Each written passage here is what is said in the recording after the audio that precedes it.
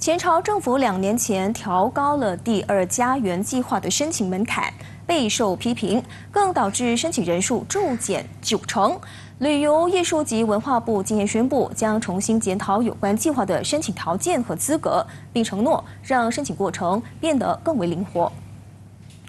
旅游部发文告指出，部长拿督斯里张庆信昨天已经和内政部秘书长鲁吉乌比开会，除了达成协议，双方也同意让旅游部旗下的中介机构透过第二家园计划一站式中心，为申请者提供申请援助和整理文件，再提交到内政部或移民局。另外，为了促进本地旅游业发展，会议也讨论了向中国和印度游客提供落地签证的设施。旅游部将向内阁提成建议，采取下一步行动。根据我国第二家园计划二零二一年最新的申请门槛，申请者必须至少有至少一百万令吉的永久存款，以及至少一百五十万令吉的流动资产，是早前的三倍之多。